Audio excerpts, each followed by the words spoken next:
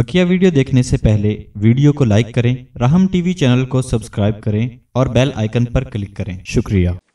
आज हम बात करेंगे अल्लाह तबारक व ताली के असम हुसना में से उन असमा पर जो मुख्तलि अम्बिया इकराम वसलाम को दिए गए उनमें तकरीबन आठ नामों पर गुफ्तु हो चुकी है। आज नौवें नाम पर गुफ्तु है और वह है इसमें समदी। इसमें समदी ये नंबर नौ। और ये हज़रत औरिया सलाम की तरफ़ मंसूब है। अच्छा। हज़रत औरिया सलाम ये बनी इसराइल के पैगंबर हैं और बड़े जलील कदर पैगंबर हैं। इनको अल्लाह तबारक व ताली ने नाम ये नाम अता किया था। जब ये नाम उनको अता किया गया इल्का किया गया तो उसका उन्होंने विरद शुरू कर दिया। कसरत से जब विरद किया तो इस नाम का इजलाल जब उनके ऊपर हुआ तो वो बेहोश हो गए। मदहोशी तारी हो गई और तीन दिन तक बेहोश रहे। अच्छा। ये कैफियत रही उनके ऊपर। तीन दिन के बाद जब बेदार हुए हैं तो तीन फरिश्ते उनके सामने खड़े थे और कहा कि हम इस नाम के जो है मुवक्किल हैं और ये मलाइका मुवक्किल हैं जो अल्लाह तबारक व ताली ने आपकी तरफ़ भेजे हैं और हम आपके मुसखर हो गए हैं। अब आपको किसी भी किस्म के जो है मौजात का जो है इंसराम करना हो, हम उसके अंदर आपकी तइद और नुसरत करेंगे। किसी भी किस्म की जो है वो सूरत हाल दरपेश हो, उसमें हम आपके मददगार होंगे। यूँ ये मलाइका जो है आपके साथ लग गए। और हज़रत और यसलाम ने इस नाम के ज़रिए से गोया के अपनी रूहानी मरातब को तय किया। और ये नाम है या समदू मिन गैरी शिबिन, वला शयन कमिसली ही या समदू। तो ए बेनियाज ज़ात कि जो उस जैसी कोई और ज़ात नहीं है, उसकी मिसल कोई नहीं, उसकी कोई नज़ीर नहीं है, वला शयन की मिसली और कोई भी चीज़ उसकी मिसल नहीं है। और समझ जाए बेनियाज ज़ात है और अल्लाह तबारक व ताली का जो है वो खासा है। तो ये नाम है। और इस नाम की बड़ी तासीरात हैं जी वो गरीब इसके अनवारात हैं। सबसे बड़ी तासीर इसकी ये है अच्छा ये नाम जमाली है कैफियत के अतबार से जमाली है। और इसका जो निसाब दो लाख छप्पन हज़ार है। लिहाजा दो लाख छप्पन हज़ार अगर कोई इसका विरद करके ये निसाब पूरा कर ले तो तासीर कामिल मिल जाती है। अच्छा। हाँ लिहाजा इसका पहला एक बड़ा फ़ायदा ये है कि कोई भी गरज कोई हाजत दरपेश हो इंसान को और वो चाहता है कि वो इसकी पूरी हो जाए हल हो जाए तो ये रोज़ाना नौ हज़ार दफ़ा पढ़े। नाइन थाउज़ेंड टाइम जो है ना इसको का विरद किया जाए। या समदो मिन गैर शिबिन वला शेन कम इसलिए या समदो। तो उससे होगा कि जो भी हाजत और गरज है वो पूरी हो जाती है। और अगर रोज़ाना इसका विरद रखे तो अपनी जो है मालूम नामालूम अगराज मकासद की नीयत करके तो अल्लाह तबारक वाल इसकी कोई हाजत गर्ज ऐसी नहीं होगी जो पूरी ना हो। वो जो चाहेगा वो पूरा होता रहेगा। ये इसके अंदर तासीर है।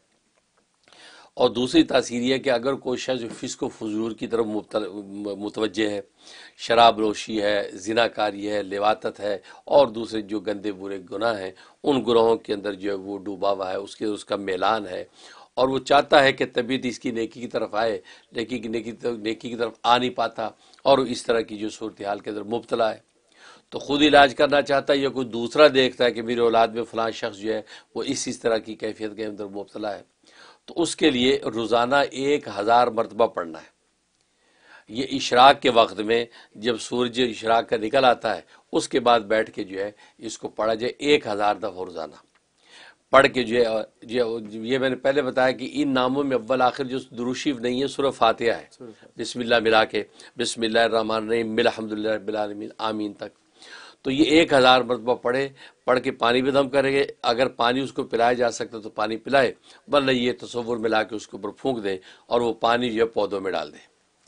तो ये जो पाबंदी से करे और ये जो 21 दिन इसको करना होगा इन अल्लाह की रहमत से वो जो है वो भी जो शख्स है उसका की मिलान जो नेकी की तरफ़ हो जाएगा और बुराइयों से दूर हो जाएगा। माशा ये इसके अंदर तासीर।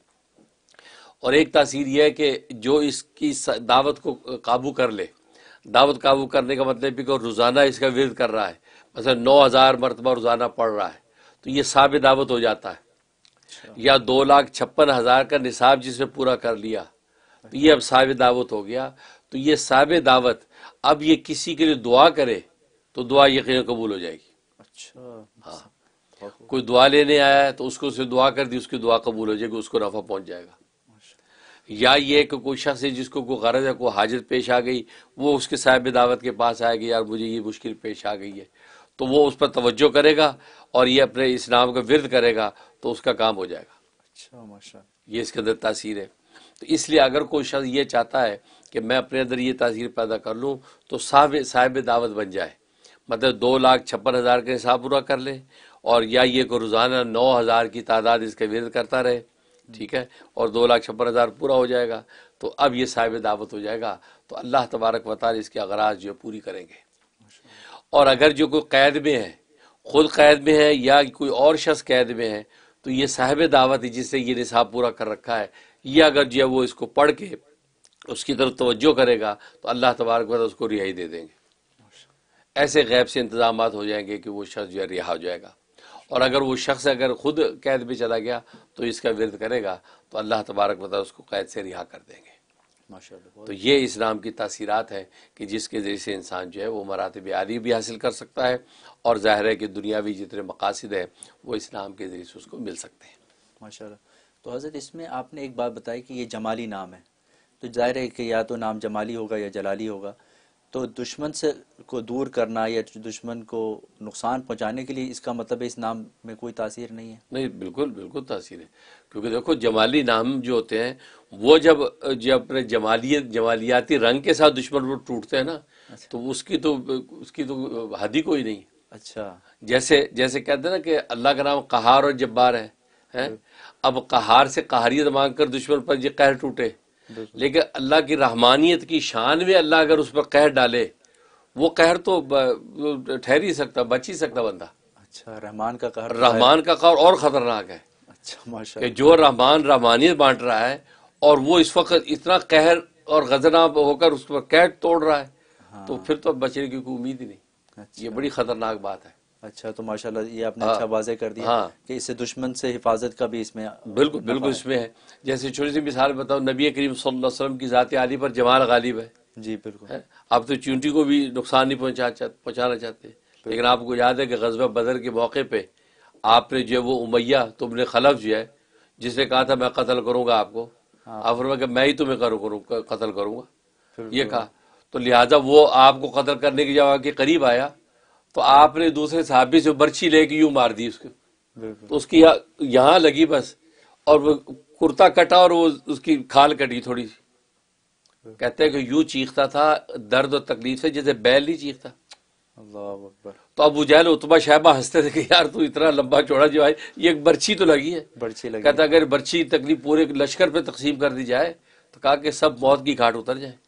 इतनी तकलीफ़ हो रही है कि मोहम्मद ने जो ये बर्छी मारी क्योंकि मोहम्मद वसल्लम सरापा जमाल है। वो जमाल को आपने कहर पे मजबूर कर दिया तो ऐसा कहर तो बड़ा खतरनाक होता है। तो वो जो है ऐसी तकलीफ़ में लिहाजा वो कहते हैं कि वो अपने लश्कर में वापस पहुँचने से पहले हलाक हो गया था। तो ये है मिसाल। तो अल्लाह जब अपने जमाल के रंग में कहर तोड़ता है तो उसकी तो कोई नज़ीर ही नहीं है। हज़रत, ये आपने बहुत अच्छी एग्जांपल से बात समझा दी। बिल्कुल बहुत शुक्रिया हज़रत। अल्लाह। ताला अमल की तौफीक अता फरमाए। तो नाजरीन, ये था नाम समदी और जैसे कि आपने इसके फ़वाद सुने, अल्लाह ताला इसको अपनी ज़िंदगी में लाने और इससे नफ़ा उठाने और अपने मरातब को और आली करने में अल्लाह ताला तोफ़ी अता फरमाए।